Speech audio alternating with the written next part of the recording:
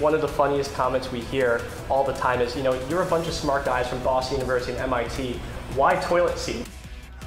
Well, why not? Because they promise it's wicked cleaner. New at 6 tonight, the local group working to bring the world, and this is what the world needs, is a better toilet seat.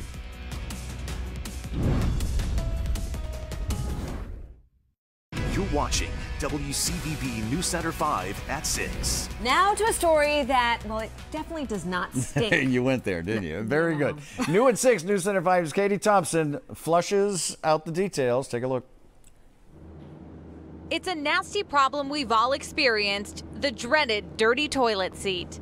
Whether it's left in the wrong position or splattered with a substance, it can be less than inviting. It really has not changed in maybe 50 to 60 years, you know, right? And there were some very significant problems that we could solve with it. Four BU and MIT students are set out to solve the problem of poor toilet etiquette with their invention, the Cleana toilet seat.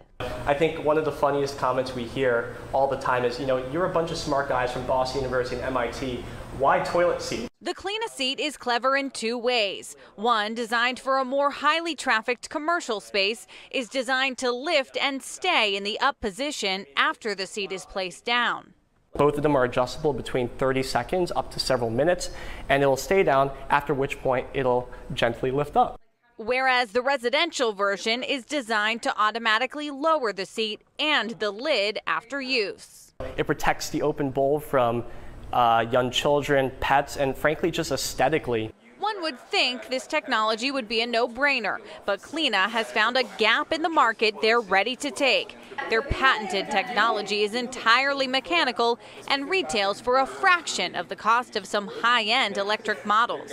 They include features that most people don't care about and frankly they can't afford. The well-incentivized group has a number of big investors and are now beginning the manufacturing stage of the toilet seat game.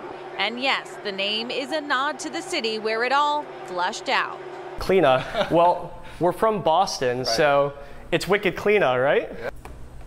So if you want to reserve your seat, you can go to Cleana.co and get on a list to get one of the first few units when they roll out from production.